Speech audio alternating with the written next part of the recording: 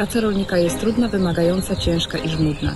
Pomimo tego, że efekty naszej pracy są szalenie potrzebne, wciąż pozostaje ona niedoceniona. Jednak wciąż, według nas, to najpiękniejszy i bardzo potrzebny zawód świata. Pomimo niekorzystnych warunków atmosferycznych radzimy sobie z pracą w polu.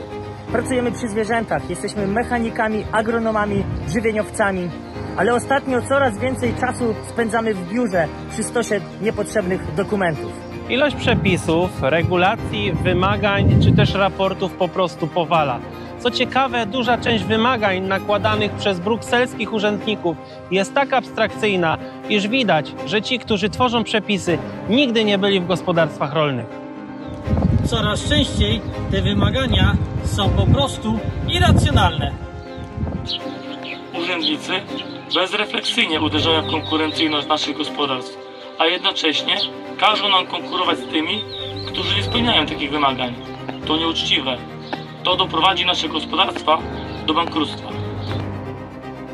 Ale to szaleństwo dotyka nie tylko nas. Was, nie rolników, za chwilę też dotknie.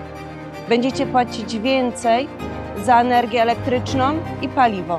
To właśnie Wam będą brukselscy urzędnicy dyktować, jak macie termoizolować własne mieszkania, własne gospodarstwa i to właśnie Wam będą naliczać kary, jeżeli nie spełnicie ich warunków. Razem możemy to zatrzymać. Już 4 czerwca widzimy się w Brukseli, żeby przypomnieć całemu europejskiemu społeczeństwu, czym miała być Unia Europejska. Dołącz do nas rolników i razem zatrzymajmy zubażanie Europejczyków. Zobaczenia w Brukseli, a przede wszystkim do zobaczenia przy urnach 9 czerwca.